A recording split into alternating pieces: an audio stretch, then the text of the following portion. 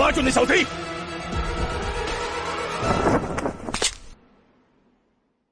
见慕容逸轩挡在了那黑衣人的面前，忙回身往房中走去。当看到房中已无他父亲的身影时，心一沉：老太爷人呢？刚才老奴进院，只看见那黑衣人从老太爷的房子里出来，没看见老太爷的人。找，马上给我找！一定要抓住那小贼。跟他老爹，他不好动手；跟慕容逸轩，他可不会客气。更何况这个号称耀日国第一天才的慕容逸轩，他早就想跟他较量一下了。因此，他出手招招狠厉，步步杀机。见那黑衣人的身手竟丝毫不逊色于慕容逸轩，凤霄暗自震惊。这云月城何时来了这么个高手？要知道，慕容轩的实力修为可不是一般能应付得了的。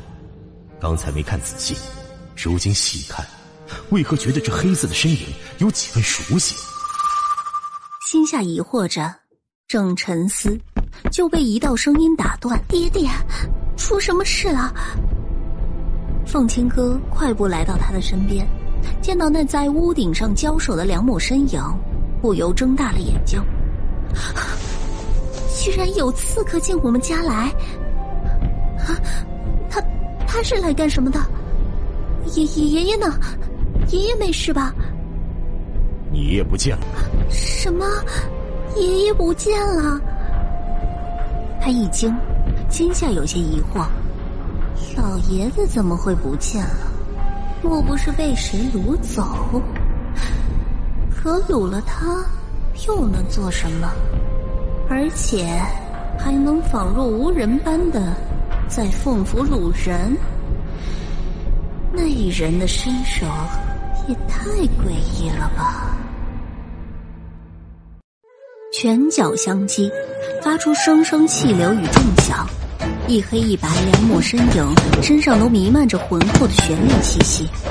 两人的攻击都没有留情，招招狠厉，让下面的众人看了都不由心惊胆战，暗自震惊于那名黑衣人的身手高强之时。就见那黑衣人一记旋身侧踢，横扫而过的腿部，甚至还凝聚着一股肉眼可见的灵力气流，以这掩耳不及的速度踢向慕容逸轩。慕容逸轩闷哼一声，身体失去平衡的从屋顶跌向地面。他迅速调整，提气平衡着身体落地。待他站稳后，再望上去，只见屋顶上的黑色身影朝他扫来，那目光竟让他觉得有几分熟悉。一时间，因争冲而失神。快追！凤霄见那黑衣身影飞掠着离开，那黑色的身影迅速消失在夜色中，当即命着护卫前去追捕。凤府护卫的速度又岂能追得上凤九？他自出了凤府后，便没有停留的掠行着，将身后之人远远的甩开。回到院外附近时，才将空间里的老爷子带了出来，扶着他跃入宅子，来到内院。小九怎么样？可还顺利？关系岭和冷霜在院中等着他，一见他回来，连忙迎上去将人接住。还好，先扶进房里。冷霜，你在院中守着。进了房，关喜岭将老爷子放在床上，看着昏迷消瘦的凤老爷子，他不由回头去找凤九。小九，你爷是怎么了？怎么整个人这么憔悴？哥，你给我打盆清水过来先。说话的同时，他在床边坐下，重新将爷爷的身体再检查一遍，而后取出银针放在一旁。关西岭打来清水放在旁边，而后守在床边看着，也没打扰他。就见他取出银针，将他爷爷的十只手指全部刺破，而后放在水中，还一边挤着血。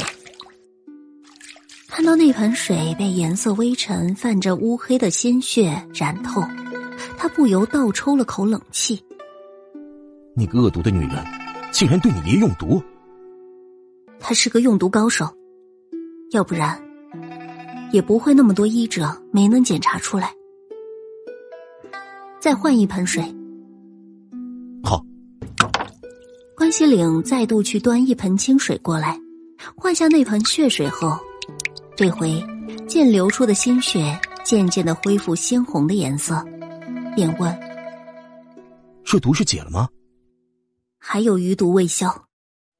他见差不多了，这才示意移开盆子，将沾着血水的手擦拭干净，给他盖上被子之后，走到桌边。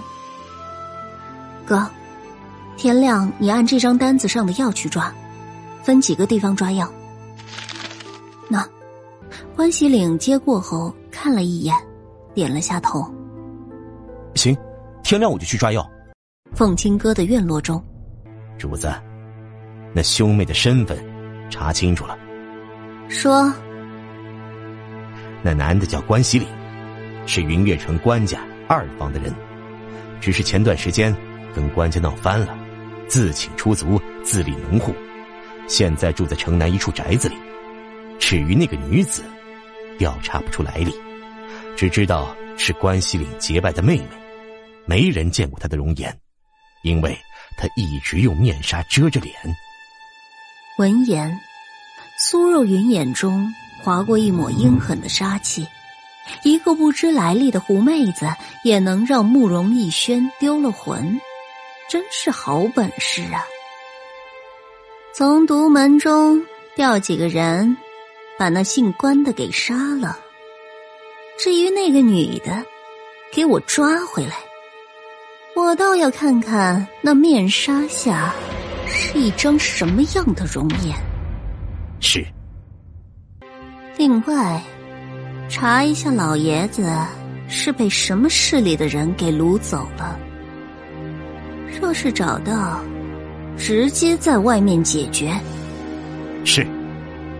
一个碍手碍脚的老头子，若是识相的话，他倒不至于杀他。可偏偏人都那么老了，还有着一双精明的让人厌恶的眼睛。既然碍着他的事，那就别怪他不灭那点情分了。次日清晨。当凤老爷子缓缓醒来之时，就见床边趴着个人，微侧过来一看，那张被毁的容颜就那样的映入他的眼中。想到那个女人说的话，心中一阵揪疼，老泪不由得湿了枕头。看到他被毁的容颜，已经让他心疼内疚不已。可当他听到……当时那女人说：“拿着一把刀，一把刀的划开凤丫头的脸时，那种心痛更是让他难以抑制的化为怒火与悲愤。他的凤丫头呀，那样一个听话的孩子，竟受了那么多的罪，让他这个老头情何以堪呢？”枯瘦的手微微颤抖着伸出。想要轻轻扶上他脸上的那些疤痕，却不料还没有碰到他，他就醒了过来。凤九猛然惊醒，警惕的坐起身来，见老爷子正无声的哭泣着，不由微微一怔：“爷爷，您怎么哭了？是不是身体还不舒服？”孟丫头，爷爷。爷爷，对不住你呀！老泪纵横，又悔又痛。若是知道闭关几个月竟会发生这样的事，他是无论如何也不会闭关修炼的。凤九露出一抹笑意，将他扶起来，靠坐在床头。爷爷，您别这样，我现在，我现在很好。真的很好。为了转移他的注意力，不让他继续自责，他便问：“爷爷，您回去后到底出什么事了？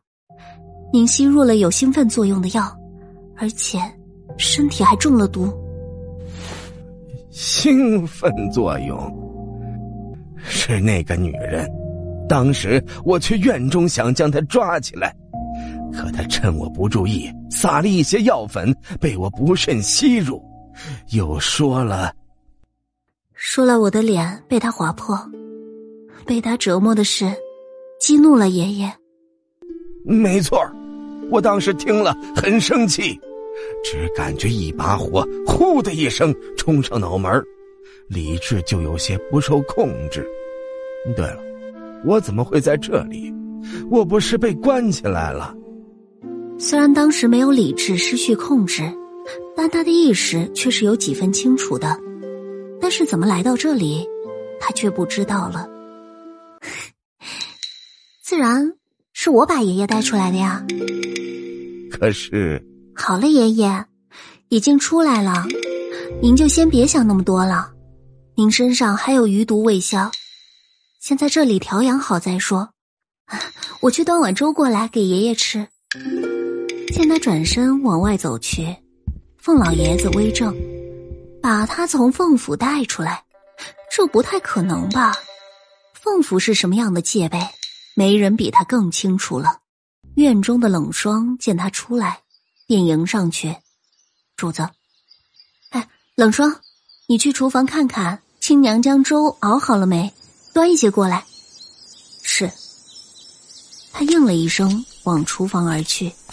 冷霜走出去后，关喜岭则走了进来。小九，药我买回来了，已经交代亲娘在熬了。对了，我今早出去买药时，看到凤府的人在四处找人呢。你说会不会找到我们这里来？放心，就算找到这里来呀，也没事。不过这段时间多注意一下他们的动静。啊，你放心，这是我知道的。你爷爷醒了没？醒了。他一直在内疚自责，说是他没有保护好我。哎，走吧，进去看看他。顺便我呀，给你介绍一下。好。关喜岭点了下头，跟着他往房中走去。进了房，就见他靠坐在床头，不知想着什么。爷爷，凤老爷子回过神来，看着走进来的两人，目光自然而然的落在关喜岭的身上，暗自打量着。凤丫头，他是晚辈关西岭，见过凤爷爷。爷爷，他是我认的异姓兄长，我平时都管他叫哥哥。他帮过我不少，人挺好的。哼哼，我的凤丫头承蒙小兄弟照顾了。凤爷言重了。傍晚，关西岭来到院中。小九，你爷醒了没？喝了药后睡下了。怎么了？有人盯上我们了。啊只是不知道是什么人。怎么说？府外有人踩点，而且我出门发现有人在暗处盯着。听到这话，他微顿了一下，交代着：“你和冷霜按着平时的样子就行了，该出门就出门。另外，让青娘和前院的几个婢女，天色一暗就回房待着，听到什么声音也别出来。”我现在过去交代，你在这里也要小心点。我知道。他笑着点了点头，倒是有些想知道，这到底又是谁盯上他们了？毕竟，自徐府被灭门，这云月城里的各方势力可都安分守己，也没有敢轻易惹事的。虽然不知道是谁，但他相信很快就能知道了。是夜，凤九点了他爷爷的睡穴后，便来到院中坐着。与关喜岭在下着棋，冷霜则守在房中，并没有出来。也许是觉得这宅子里的几人根本不足为惧，因此八抹黑色的身影悄然潜入，直掠向后院主人院。一进后院，跃上围墙，就见院中的两人正坐着对弈。男的杀了。女的抓回去。